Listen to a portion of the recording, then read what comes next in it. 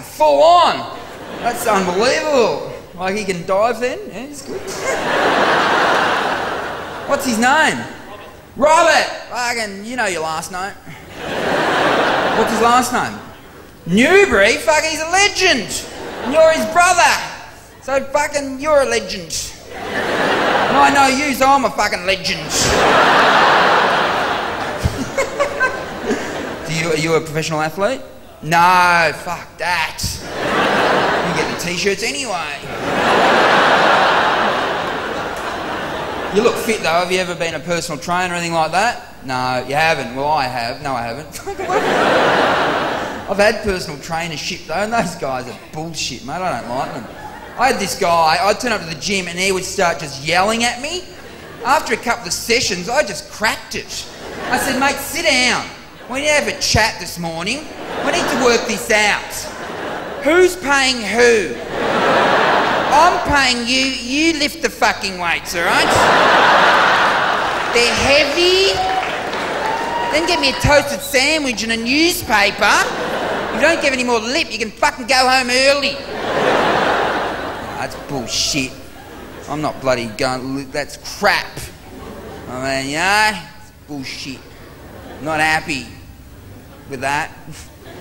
But I am happy with. Tell you what, I am happy with though, because you really want to know. I'm happy with McDonald's and the changes they've made. Aren't you happy? They made so many changes. They got so many new things on their menu. Oh, fuck, I knew the new taste menu was going to be great when the first thing they came out with was a ham, cheese, and tomato toasted sandwich. I thought, you're on the cutting edge, McDonald's. How did you come up with that combination? What risk takers you are. The problem with that combi- the problem with that though is they on the TV ad to advertise the new taste menu they explained too much. The Colonel wouldn't have done it.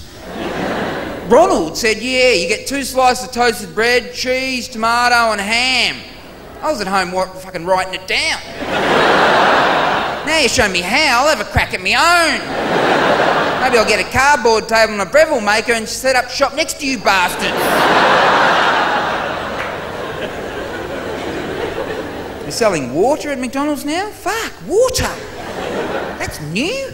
I'm not going to buy water. If I want water at McDonald's, I'll go into the toilet and lick it out of the fucking bowl. I've possibly gone too far with that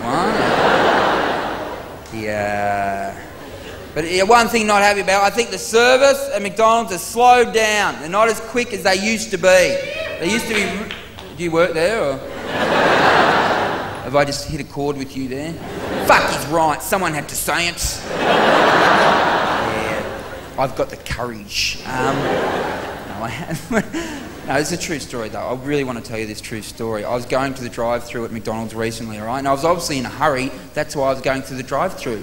Hadn't have been in a hurry, I wouldn't have gone inside and enjoyed the ambience of the fucking restaurant, you know?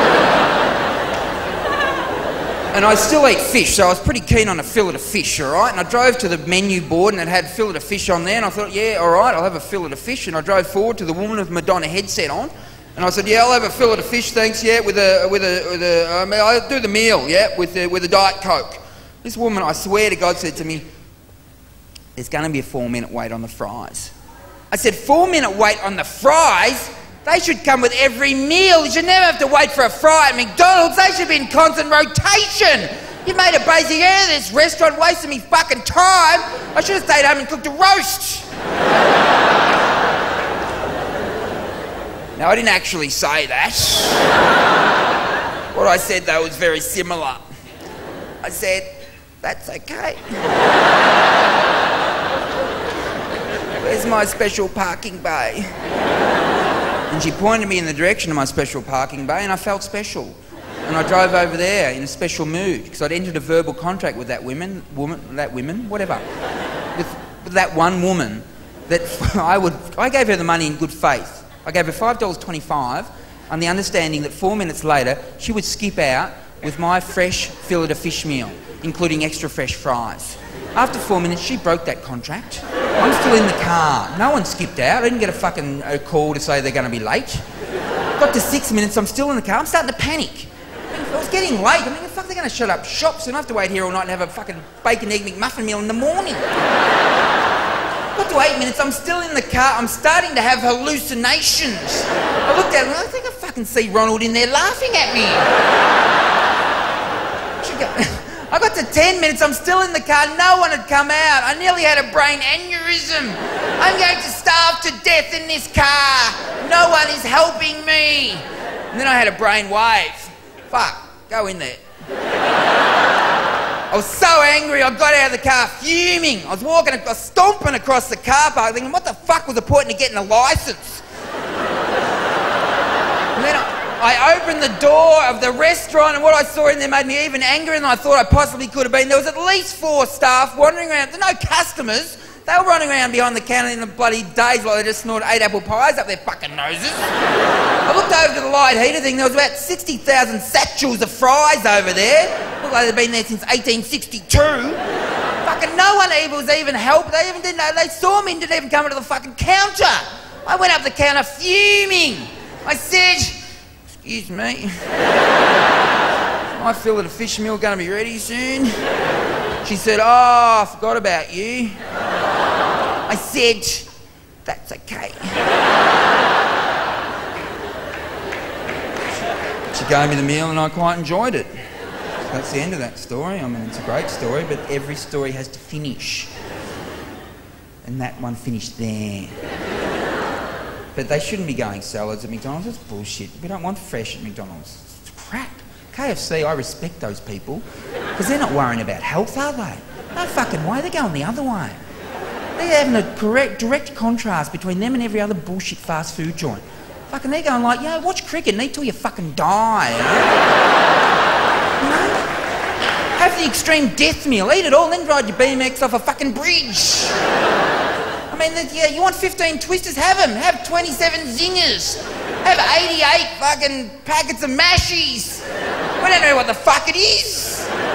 How about that plastic chair? We'll put the batter in it, take it home. Eat it all, you're not going to get a root anyway. I mean, I used to love KFC, I must admit, but for me it was a little bit like porn, you know. I mean, I mean it's good while you're doing it, but afterwards, you feel dirty. you know, I hope mum doesn't find out. And sometimes your hands are sticky. It's okay if you've got your refresher towel. Have we got any single guys in who know what I'm talking about? yeah, any single guys over here? Anyone? No one? No, no single guys here tonight? No? No one? Fuck, well done, guys. There's so many hot chicks, you fair enough. have you single mate or have you got a girlfriend? Oh, that's yep, you two are together. Yep, right, beautiful, well done. Both of you, you're hot, good on you. How long have you been together, you two? About a year. Oh, how old are you, mate? 21, that's good. How old are you? 26. Oh, here we go. Bit of bloody toy boy action. Uh, fuck, they didn't press down the back. Oh, mate, you're bloody, uh, you're young and you're keen, aren't you? Yeah, and she's bloody probably giving it to you. No, what does.